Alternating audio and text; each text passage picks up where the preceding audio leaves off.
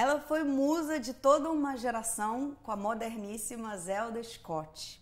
Seja no teatro, no cinema ou na TV, ela tem uma habilidade incrível para transitar entre personagens densos ou super engraçados. Eu tenho o prazer de receber hoje aqui no estúdio do Revista uma das minhas atrizes preferidas e a querida André Beltrão. André, obrigada pela sua presença aqui. Olha, é um barato estar aqui porque a gente dividiu o camarim muitos anos, né? É, Na televisão agora há pouco. É verdade. E parece que a qualquer momento alguém vai chegar aqui e vai mandar Fala, a gente vamos, trocar vamos, de é, roupa. É, vamos andar. Rei do Beirute, casamento do seu Chalita, roupa 12. É então verdade. é muito engraçado. Eu fico muito feliz de você é, também. Eu tô super. Você sabe que eu tô emocionada adoro. de estar aqui com você. Vem cá, vamos começar falando lá do início da sua carreira. Vamos, lá no século passado. Não, para. Você foi uma adolescente que gostava de esporte, jogava vôlei. Como é que você foi parar no teatro, no tablado? Que você começou fazendo teatro no tablado, foi, não foi? Foi, foi. Como é que você chegou no tablado?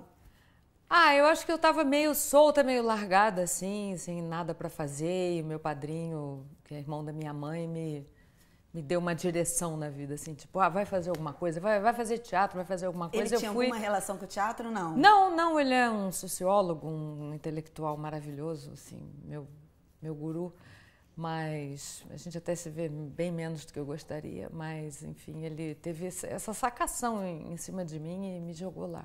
Você tinha quantos E aí eu fiquei, tinha 14. Olha, novinha também, é, né? É. E sua primeira peça profissional foi no tablado, não? Saindo do tablado? Não, profissional. A gente chama profissional o, o que exatamente? Eu nem, eu nem, sei. Quando, quando a gente começa que a ganhar entra em cartaz, que né, entra em talvez, cartaz, é, não. Que... É, é, foi fora do, do tablado, porque no tablado eu fiz o Alto da Compadecida como peça de fim de ano, uhum. né, de, de trabalho. É, hoje é dia de rock, nossa cidade, foi tão legal tudo. E aí saí do tablado, aí fui para o grupo Manhas e Manias, uhum. que tinha Zé Lavini, Débora Bloch, é, Chico Dias, Karina Cooper, Cláudio Baltar, Vicente Barcelos estava saindo e tal. E uma turma, uma boa, turma né? legal demais.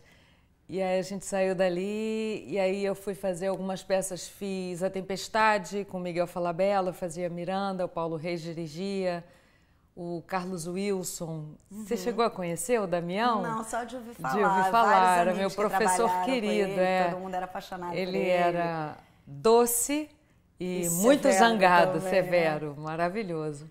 E foi meu professor muito tempo. E ele fazia o, o Caliban, que se jogava lá de cima no Parque Laje, foi uma montagem bonita e tal. E aí eu comecei a fazer, então, o chamado teatro profissional, Aham, onde ganhava um aham. dinheirinho e Aham. tinha temporada. Essa sua definição é, a É, melhor de todas. É. é. Quando entra em temporada, porque eu nunca tinha pensado nisso. Né? Quando é que vira É, profissional? Tá ali, tá É. cobrando por aquilo? É. as pessoas têm acesso, no É. jornalzinho. Hoje Ganhar nem tem. dinheiro, eu acho que É, não é uma boa definição. Eu acho hoje, que né? quando entra em temporada é, a É. melhor. Vem cá, e aí no cinema você fez uma série de filmes que foram super importantes ali na década de 80. O Ai, Bete Balanço, é. o Rock Estrela. O Bete Balanço eu fiz uma figuração que É. eu, eu passo no. Eu risco o fundo, assim, porque a protagonista é a Debbie, Aham. mas é a Débora Bloch, Aham. e que faz lindamente, foi um super sucesso que ela fez. E, e aí a gente fazia uma peça juntos, todo- ela fazia ainda o Manhãs e Manias, e, e o grupo estava muito duro, a gente estava muito sem grana, e a gente ficou no pé dela, e Deb, poxa, arruma um jeito de botar a gente para fazer uma cena, uma diária, para a gente ganhar um trocado, a gente está muito duro. E aí ela insistiu lá com a produção, com a direção, com o Léo Rodrigues, e- galera, e né? eles conseguiram botar a gente para fazer uma figuração no filme. E aí a gente ganhou uma diária e tal, mas foi tudo por, pela. Mas teve o Rock Estrela, teve Garota Dourada. Teve Garota Dourada, teve Escorpião Escarlate, As Sete Vampiras, é. Rei do Rio, Ah, foi legal. Foi Mas legal. tem... A Cor do Seu Destino, uhum. com Duran, Jorge uhum. Duran também, que foi muito bacana. Esses filmes, de certa forma, criaram um, um, imaginário assim dessa mulher moderna, dessa mulher livre. A sua personagem do Armação Ilimitada, a Zelda Scott, também foi uma personagem muito emblemática. O que eu queria saber, assim, de que forma é, essas personagens que você construiu também te influenciaram? Também, como é que isso é, se manifestou na sua vida pessoal, na sua, na sua formação? Você era uma jovem também se formando como pessoa e também no cinema construindo uma carreira com personagens é, assim. Você sabe dizer como é que isso reverberou em você? Eu não sei dizer porque eu acho que alguma coisa da minha atitude é, que eu não sei dizer exatamente porque escapa mesmo do meu controle, uhum. não, é, não, nunca, nunca foi alguma coisa é, pensada, controlada, é, uhum. é, é, dirigida, foi realmente alguma coisa espontânea de, da minha natureza que, que foi me, me levando para esses caminhos, eu acredito. E eu não sei exatamente o que, tanto que teve uma época que eu comecei a, a achar engraçado que no, no Armação eu tinha dois namorados, que, e, era, e era super livre, eu é, achava legal. E acho que, que é, muitas vezes é, era mais moderno do que hoje em dia. Às Exato. vezes hoje, é, não, com certeza, hoje está é. um pouco mais careta, até porque eu saía da cama de um e ia para a cama do outro e tudo no, na mó boa, assim. Isso era nem questionado, né? Isso não, era, isso não era um problema, é, isso era enfim. e depois eu fiz uma novela que eu casava com três irmãos, que era a Rainha da Sucata, se não me engano. Depois eu, de novo, faz, fiz um outro trabalho onde eu ficava com dois. Depois. Aí eu comecei a achar curioso. Eu falei, poxa, isso está virando uma repetição. É, é engraçado quando a gente não sabe também o que, que começa é, antes, né? Que toda é que... hora casa com dois, três, quatro. eu não sou exatamente um. E você uma, casadona uma mil anos, Eu gostaria muito, mas assim, né, né? Enfim, então não é, não é o meu o meu apelo mais, mais rico, mas, assim, achei curioso. Então, acho que alguma coisa de atitude. É, eu acho de... que tem um temperamento. É um temperamento, assim, e, não sei. E, e é uma antenado, coisa. Né, é também de, de, lidar com o homem de uma maneira é, próxima e não. É, não, não muito frágil, não sei é, explicar. É, que venha talvez da minha infância um pouco, de, de, ser muito moleque também. E, às vezes eu até me ressinto, eu gostaria de ser muito mais mulherzinha, assim, muito mais. mas não, não, na próxima vida eu vou. muito bom. E aí tem uma série de personagens suas também, mais ou menos relacionadas à comédia, que saíram da televisão e foram pro, pro cinema, né? O Bem Amado virou filme, ah, é. A Grande Família virou filme. É. Vocês têm alguma diferença quando vira, quando vai pro cinema? Não necessariamente. Eu acho que tem uma diferença, tem no sentido tem uma coisa técnica enorme que é o tamanho de tela, isso é não adianta, é, eu acho que tem linguagem, sim. Às vezes pode não ter, porque é, dependendo do diretor, ou, do, do, do, modo de produção daquele uhum. filme, ele pode ser é, mais maltratado do que um produto de televisão. É né? Ele pode ser mais é, é, escrachado do que um produto ruim da televisão. Depende uhum. da, da elegância, né? da, da, do jeito que, o, que aquele diretor vai, vai fazer aquele trabalho. Uhum. Então, assim, às vezes um, um, trabalho na televisão pode ser muito mais chique, nobre e tudo mais do que um, um filme. Então, acho que esse julgamento de valor, televisão, teatro, cinema... O que, que, é melhor, isso, como se fosse uma hierarquia é, que não vale, É, radionovela, né? fotonovela, não, não importa. Livro, acho que tudo independe. É, ou depende de quem está fazendo, da história, das pessoas envolvidas, né? Mas eu acho que o cinema é, tem essa coisa, o tamanho da tela, aqueles 10, 12 metros, sei lá, aquilo é né? apavorante. É. Tanto quando você vai ver um, um, filme onde você, como atriz, trabalhou pela primeira vez, é um soco no estômago, é, né? É, tipo, é uma experiência... Fica, é uma experiência detestável, né? Porque se escondendo é muito, assim, é muito estranho, porque você fica a flor da pele, assim, é, não, é uma, não é uma questão da sua, não é, e eu acho que não passa nem pela vaidade, assim, de, de ter vergonha, ai, estão me vendo, ai, não estou me gostando, uhum. ai, mas é, é muita exposição. Coisa física, é muito grande. É, é muito grande, é você pegar, eu acho que é pegar qualquer pessoa, qualquer pessoa na rua, dizer assim, vem cá, fazer um close dela e botar no, numa tela de 10 metros. É assustador. É, é então você ficar se vendo, né, trabalhando ali. Então, acho que esse, esse trânsito de uma tela pequena Uhum. para uma tela enorme já é uma faz uma diferença gigante. E toda a linguagem que você pode levar junto, se você tem a, a, sabedoria, o diretor, o roteirista, a equipe e tal, o elenco, é, eu acho que você pode modificar muito aquela história para bem ou para mal. No caso desses três trabalhos especificamente, você trabalhou com o Guel. Você tem uma parceria super legal com ele Tenho, também. fa- Queria que você falasse um pouquinho desse, desse teu jogo com ele, do- de como é trabalhar com ele. A linguagem, ele tem uma Ah. linguagem muito específica, né? Assim, ele tem, Tem. os trabalhos dele têm uma cara muito autoral, assim, né? Você Tem muito. naturalmente se identifica. Bom, a gente começou a trabalhar na Armação Ilimitada, né? Porque é, ele foi dirigir o Armação e me chamou para fazer com o André Cadu, Jonas, Catarina, Francisco Milani, que virou astro lá no céu. Maravilhoso. Maravilhoso, né, saudade imensa. É. E, enfim, Nara Gil, né? E O Armação durou quanto tempo? durou quatro anos. Ah, quatro, Quatro anos. anos. O tempo do Tapas e Beijos. O tempo do É. ta- o Tapas foi É, um quatro anos mais, e meio, é, quase tal, cinco, quase é. cinco, né? Porque a gente É, acabou é, no fim de agosto, é. mais ou menos. Mas o Armação, ele era, ele tinha uma, a temporada dele era assim, começou um por mês, se não me Ah, engano. tá.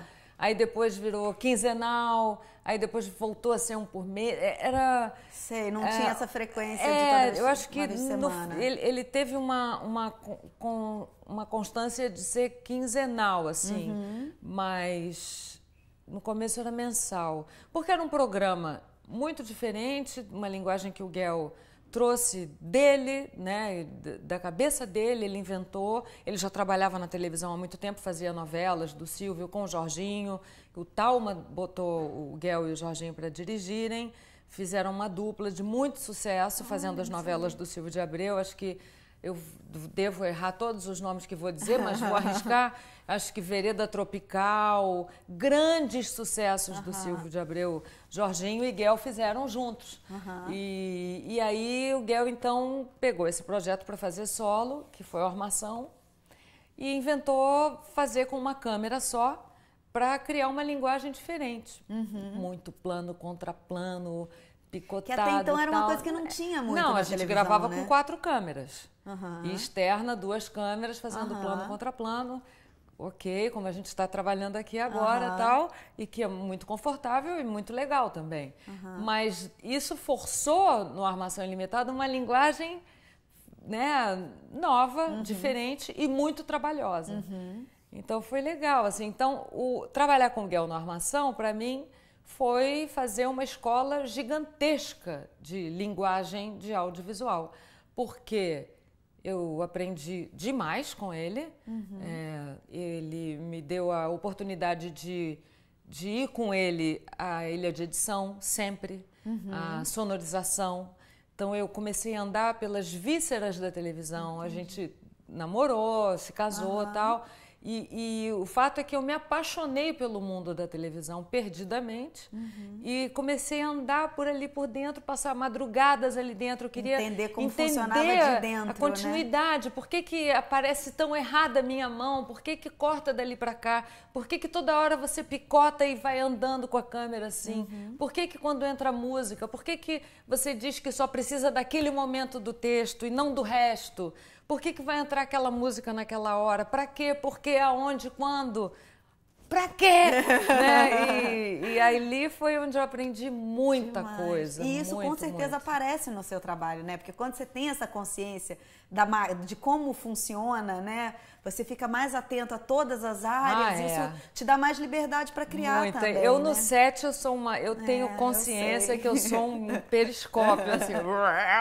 Eu sei o que estão falando aqui, aqui, ali, ali. O, É. o figurante está se mexendo, andou na hora errada, tá? Eu acho que eu sou até chata demais, mas Não, é maravilhoso. Para todo mundo Mas- que está perto é maravilhoso. Ai, né? Quanto mas eu- mais pessoas souberem, né? eu gente- sou uma esponja É, porque muita gente sabe muito pouco, aí você vê muita gente muito perdida, né? Então, quanto mais gente sabe do mecanismo, como é que funciona, é mais fácil de trocar também e de ficar livre para É, brincar, improvisar é. também, que é, que é uma coisa que você também faz com o pé nas costas, ah, né? Gostoso, você também, né? Vem cá, aí você foi trabalhar também com o, o Ivan Cardoso, que é uma outra onda. Outra que é um onda. gênero que ele é, chama terrir. de terrir. É, adoro. Como é que foi? Você fez o Escorpião Escarlate e, as, e sete, as vampiras. Sete Vampiras. Ah, foi um Como barato. é que foi essa experiência? Foi um barato, porque aí foi demais, porque eu trabalhei nos filmes do Ivan, eu pude trabalhar com Colé, Anquito. Que maravilha. Zezé Macedo foi minha parceira. Sensacional. Eu filmei muito com ela, dias e dias ao lado da Zezé Macedo. Poxa, eu tinha 20 anos, 19, é, 20 é. anos. Então, assim, e eu sabia preço, quem né? ela Incrível, era. Né? Eu sabia, porque eu sempre Sei. fui uma pessoa curiosa e vi muitos filmes e, e, e assim, então eu não estava ali, ah, quem é essa? Ah, essa Sei. senhora. Sei. Eu sabia perfeitamente que aquela mulher eu via tudo do, dos Caritos, já era fascinada pelos filmes né, da Atlântica e tal. Então, pelo amor de Deus, na hora que pintou aquela mulher do meu lado, eu, meu Deus yes! do céu, Consuelo Leandro Que foi legal. minha mãe num dos filmes, Anquito foi meu pai. É, Quito ser teu pai incrível, né? Ivon tipo... Cury, tirando peruca em cena, maravilhoso. Ah, Tinha uma Colé, coisa de falei. improviso também, Wilson Grey tem? tinha, Wilson Grey. Então, assim, com astros da chanchada, Uhum. astros, que eu, para mim, eu estava vivendo um mundo, um paraíso, sabe? Ah, um cinema que eu tinha certeza que poucas pessoas da minha idade Iam ter aquela. iam ter aquele privilégio de estar ali oportunidade. no meio daquela gente, convivendo e, e- e passando um dia comendo um frango assado, no Maravilhoso. quitandinha, no apartamento o dia inteiro conversando, ouvindo os papos. Foi incrível, foi assim maravilhoso. Ai, que bom. Vem cá. Aí você você está lançando agora um filme com a Sandra Werneck, que é uma continuação do filme que vocês fizeram há, se não me engano, 18, 18 anos, anos, atrás. é.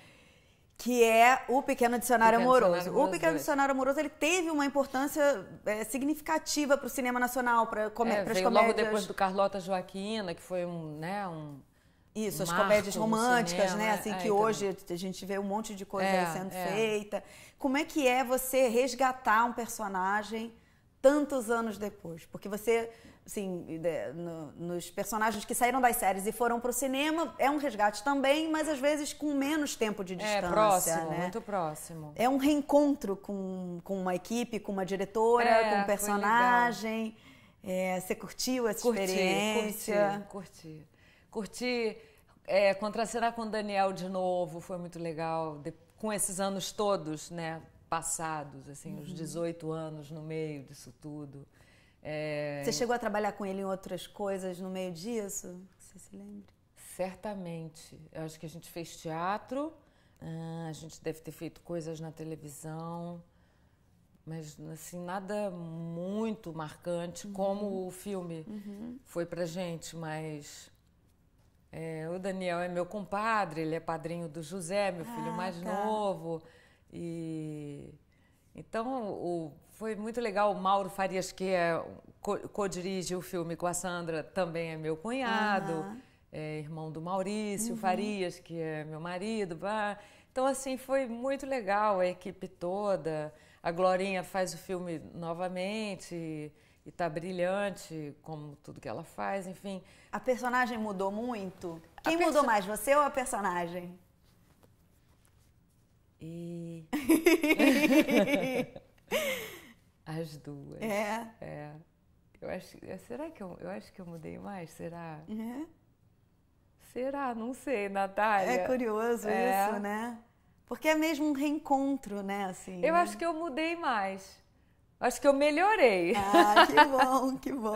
acho que eu melhorei. Saindo um pouco das comédias, você fez é, o Verônica com o Fiz. Maurício Farias, que é um filme que é um thriller policial, é um filme mais denso, que tem ali a questão é, social brasileira, né, do, do tráfico de drogas, e, enfim, da pobreza, e da violência. Como é que foi pra você esse projeto? Como é que ele surgiu? Como, como é que você encontrou essa Verônica, um personagem muito forte, né, uma mulher madura, uma mulher que tem essa relação com a maternidade, né, com esse menino que ela pega pra ajudar e toma como se fosse dela. O Verônica é um filme que eu adoro, assim, tenho uma paixão por esse filme, porque Ele, primeiro que eu adoro filme de ação, adoro, sou apaixonada. Eu queria muito fazer muitos filmes de ação, correndo e tiros. Adoro, é, lutando contra os monstros, eu acho sensacional. Queria fazer muito ficção científica.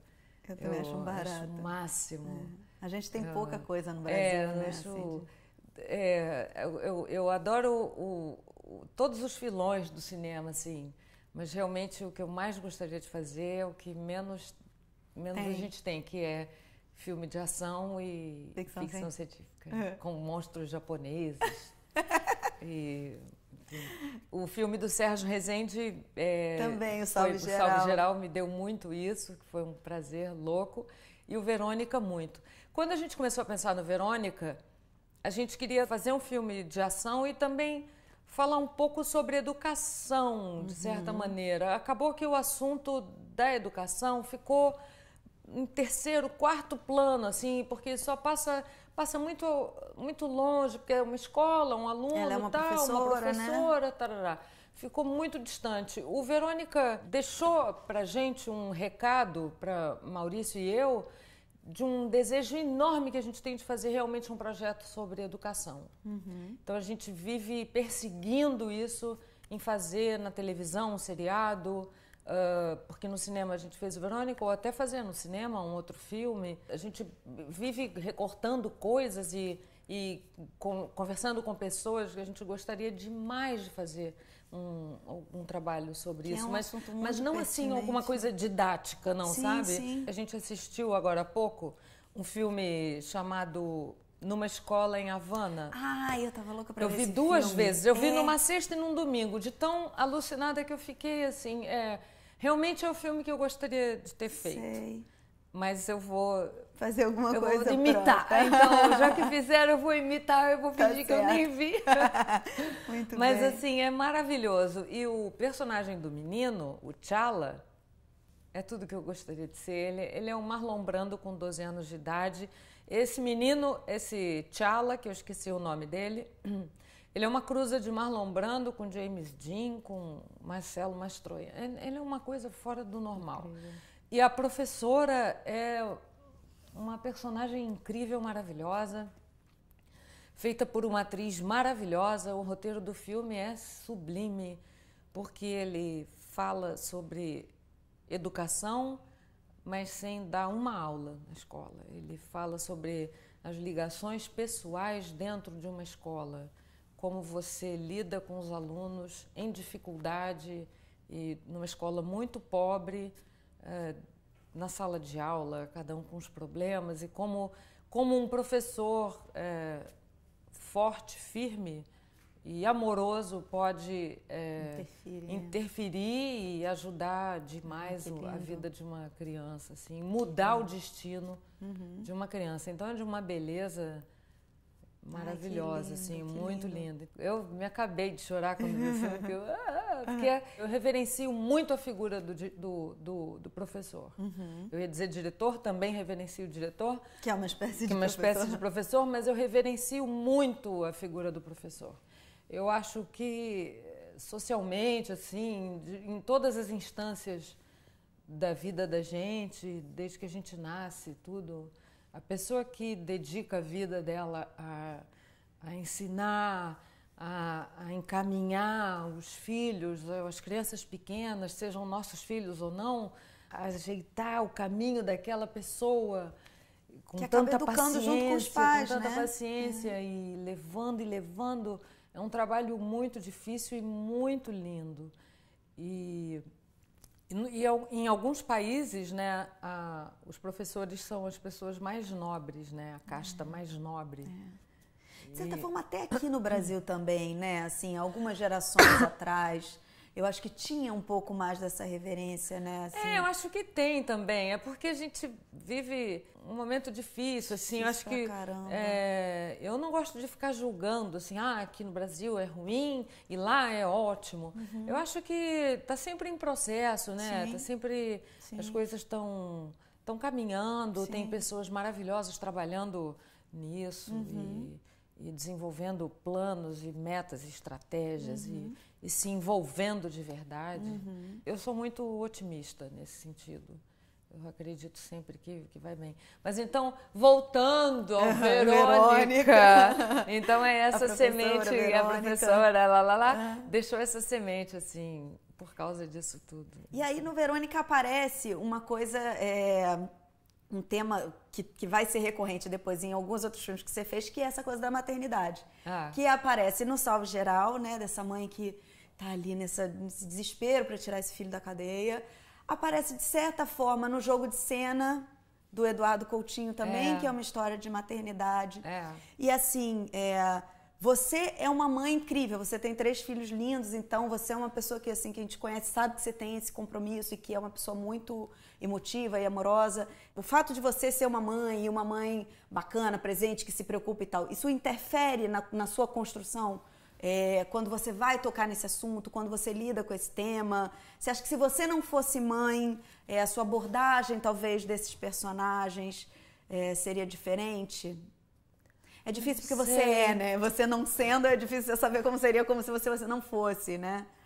Eu não sei porque eu acho que é, a gente quando é mãe também, é, você é, você às vezes pode idealizar que você é uma ótima mãe, você pode achar que, mas como? Tudo que eu faço, é, eu dou tanto amor, é, eu, eu, dou o meu melhor, é, eu faço de tudo, é, eu dou todo o meu tempo e isso faz com que você, muitas vezes, acabe acreditando que você é uma das maiores mães do mundo. E, ou uma das melhores mães e só que essa mãe uma das melhores ela não existe para ninguém para os nossos filhos não adianta porque essa, é, não existe essa mãe. essa mãe. Você pode fazer, plantar bananeira, fazer das tripas coração, se virar do avesso. A mãe, ela, ela é uma, uma, uma coisa, um, ela é um, um estado da vida que, que é doação, doação, doação e apanha também muito e erra demais, assim. Eu vejo é como, como eu erro, como eu vacilo. Ah, ah, às vezes eu fico lembrando as coisas que eu já fiz com eles, assim.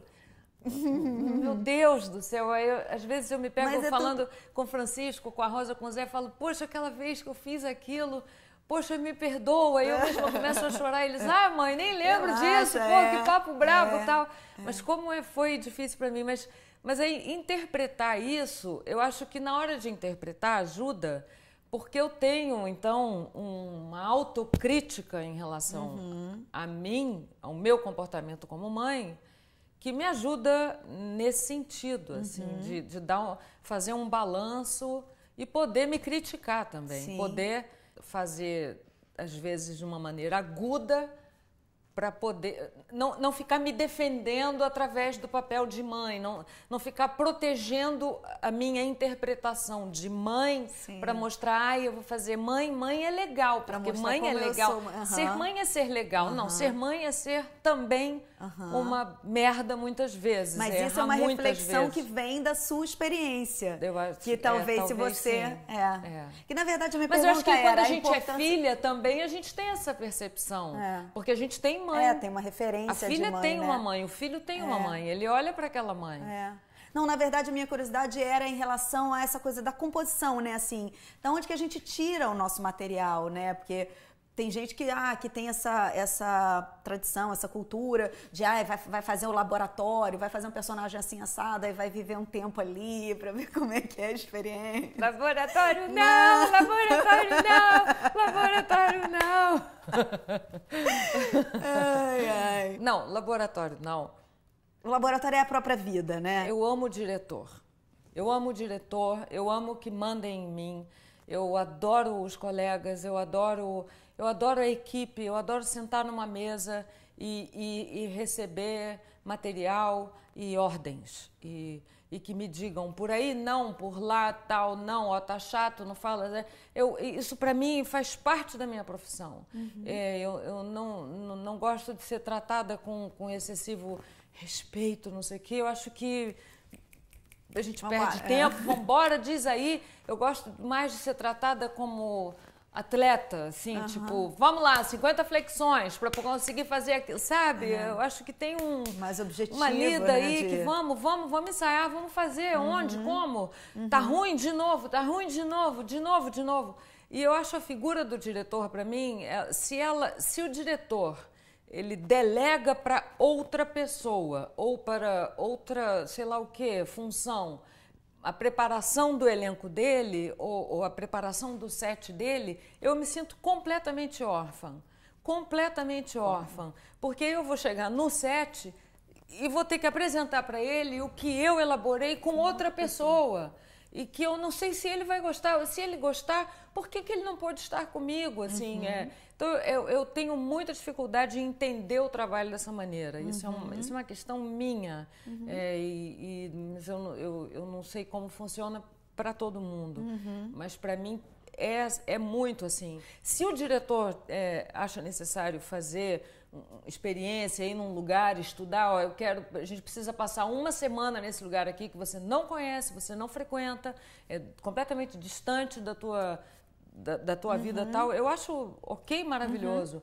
Mas, Mas assim, vamos junto, né? Vamos junto. É, me, me, explica, me ensina, me diz, me sinaliza, né? Uhum. É, me, me, me fala por quê. Me, me diz que olhar eu devo ter, uhum. né? E não só me joga lá para eu fazer uma imitação de um mundo que não me pertence e um mundo do qual eu não estou entendendo o que você quer que eu diga. Sim, é, claro, né? não, concordo Então, é, é, é, assim, a minha implicância com, com essa coisa laboratório um pouco é só essa. Uhum. Eu gosto muito de entender uhum. o que está sendo feito e, e eu, eu, o set, para mim, o trabalho ele tem que ter muito prazer. Porque a gente passa muitas horas Nossa, ali. É. A gente passa 12, 14 horas ali quando está é. trabalhando. E, e não pode ser um lugar é, severo, uhum. austero. Uhum. Ah, tem que ser um lugar onde a gente possa brincar com os colegas, uhum. brincar com figurantes, com uhum. contra-regra, falar de futebol, uhum. você sabe quanto sou apaixonada é. por futebol, brincar, falar palhaçada, sacanear o outro, rir do sapato do outro, olha, olha a bermuda é. do é. Tiago com o cadarcinho de pompom, entendeu? Se isso não for possível, a é. vida não tem graça. É. Toda né? razão. E sair dali, tomar um sorvete, tomar um chopp, sei lá o quê. E, e é a vida, é. a vida sim, é. viver a vida e a vida trabalhar também. Se for um, o trabalho. É, eu, se aquilo tem um peso muito é, grande, é, fica, eu, vira outra coisa, eu, né? Dizem que o Mastroianni gostava de ir para a filmagem para encontrar os amigos e tomar um bom vinho. Maravilhoso. É, essa é, a minha esse, religião. Esse é o norte. Essa né? é minha... Muito bom. Vem cá, André, agora só para a gente fechar assim, o filme que você está lançando agora com a Lúcia Murat. É que é o Em Três Atos. É. é um filme também, como Verônica, também como Salve Geral, também como Jogo de Cena, um filme mais denso, um filme mais pesadão, né, assim, porque trata de dois temas que acabaram virando quase tabus hoje em dia, né, que é a velhice e a morte. É. São temas que as pessoas meio que negam, não querem olhar, Nossa, não querem é. falar, Ninguém né? pode envelhecer, ninguém pode morrer, né? Exatamente. Não podemos fazer nada que nos mate é. e não podemos fazer nada que nos envelheça. E vira uma ditadura é. também, né, pelas avessas, assim. Como é que foi um pouco a experiência desse filme, que... seu encontro com a Lúcia? Ah, foi um barato. Eu toco o telefone, Lúcia Murai, já vem aquele sim, né? É. Sim, o quê? Sim, o quê? Tanto faz, qualquer hora. E como foi com o Coutinho, uhum. né? Enfim. E foi muito legal, a gente filmou, acho que uma semana, dez dias, uma coisa assim com a Natália Timber. Com Vocês fazem a mesma personagem? Nós fazemos a mesma personagem. Vocês chegaram a combinar alguma coisa de, de, de intenção, não, de trejeito, de, de não, composição? Não, porque a Natália, ela faz a personagem com a idade dela, Sim. eu faço com a minha. Uhum. E, e, a Lúcia não achou. Que precisava não, de. ela não achou que, que fosse necessário. Até porque o filme também tem uma liberdade narrativa, é, né? Ele é, ele muito, é bem é, ele é malucão, solto, né? É malucão, assim, é, maravilhoso. É, lindo. E aí a gente. A Natália tá maravilhosa, né? Tá maravilhosa. Você Aquela também, diga-se de passagem. É, tô... é, para. Sou, parou, parou. Sou uma parou. garota esforçada. Mas, Não, é ah, Natália. Porque é um registro muito dramático e você tem é. essa coisa da comédia, ela é muito fluida para você, né? Se bem que no teatro também você fez várias coisas dramáticas incríveis. É, ah, também. eu adoro fazer um drama, tragédia, É, adoro. bom, é. Eu me divirto fazendo os É, outros chorar. é. assim que é bom. assim que É legal, bom. é divertido. Tá certo. Muito obrigada, Obrigada, meu amor, pela sua presença aqui. adorei. Volte sempre que quiser. Vamos gravar uma cena agora lá vamos Rio nós. Bom, se você quiser ver a entrevista na íntegra, entra no site revistadocinembrasileiro.com.br e vocês ficam agora com mais um filme de micrometragem. Até mais.